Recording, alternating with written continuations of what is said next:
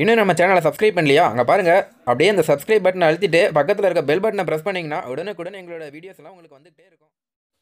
Hello viewers பரபரப்பாக பேசப்பட்டு கொண்டிருக்கும் சௌந்தர்யா ரஜினிகாந்த் திருமணத்தில் இப்போதுதான் பல விடாயங்கள் வெளியாகி கொண்டிருக்கின்றது.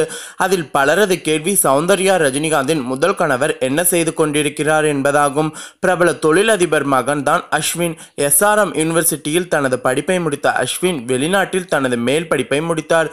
ஃபிட்னஸ் மீது அக்கறை கொண்ட அஸ்வினுக்கு ஜிம்முக்கு தினம் செல்வது வழக்கம். அங்குதான் சௌந்தர்யாவை சந்தித்தார். நட்பான பழக்கம் பின்பு காதலானது. பரம்பரை ஐயங்கார் வீட்டு அழகன் அஸ்வின். இருப்பினும் மகனின் மனதை உணர்ந்த பெற்றோர் காதலுக்கு பச்சை கொடி காட்டி இரு வீட்டார் சம்மதத்துடன் திருமணமும் நடந்தது.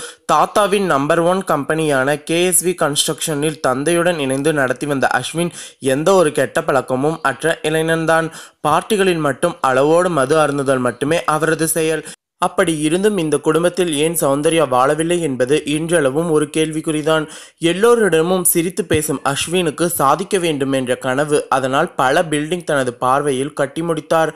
அதற்காக பல விருதுகளையும் தட்டிச் சென்றார். ரெண்டாயிரத்தி பதினேழாம் ஆண்டு சௌந்தர்யா அஸ்வின் இருவருமே மனமொத்து விவாகரத்து பெற்றனர். அதன் பின் அஸ்வின் வேறு ஒரு பெண்ணை திருமணம் செய்தார். பிறப்பிலிருந்தே பணக்காரனாக இருந்தாலும் தன்னுடைய முயற்சியால் இன்று தனித்து செயல்படும் அஸ்வின் கேஎஸ்வி கன்ஸ்ட்ரக்ஷன் உரிமையாளரான ஆனார். ஆயிரத்தி தொள்ளாயிரத்தி தொண்ணூற்றி மூணாம் ஆண்டு சென்னையில் இவர்களது கம்பெனியால் தான் நேரு ஸ்டேடியம் கட்டப்பட்டது. இன்று இருநூறுக்கும் மேற்பட்ட இன்ஜினியர்கள் இவர்களிடம் வேலை செய்கிறார்கள். ரஜினிகாந்த் அவர்களை விட பல மடங்கு வசதி இவர்களிடம் இருக்கிறதாம். சௌந்தர்யா திருமணத்தின் போது அஸ்வின் வாழ்த்து தெரிவிக்காததாக கூறப்படும் அதே வேளையில் இணையதளத்தின் தான் சோகமாக இருப்பதாக வதந்திகள் வருகிறது. இப்போது நான் என் குடும்பத்துடன் நிம்மதியாகவும் சந்தோஷமாகவும் இருக்கிறேன். என்னை விட்டுவிடுங்கள் என அஸ்வின் தனது சமூக வலைத்தளங்களில் குறிப்பிட்டுள்ளார்.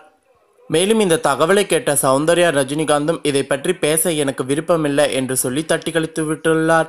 மேலும் இந்த தகவல் உங்களுக்கு பிடிச்சிருந்ததுன்னா லைக் பண்ணி ஷேர் பண்ணுங்கள் இது போல் தகவல்களை தெரிந்து கொள்ள நம்ம சேனல் உடனடியாக சப்ஸ்கிரைப் பண்ணுங்கள் தேங்க்யூ